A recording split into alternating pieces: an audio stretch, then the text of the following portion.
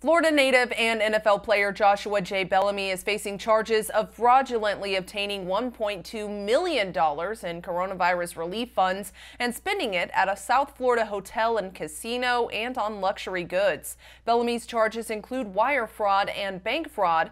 Prosecutors say he received the money for his company Drip Entertainment LLC. He also allegedly sought PPP loans on behalf of his family and close associates. Bellamy plays for the Jets but is currently currently on the team's reserve and physically unable to perform list.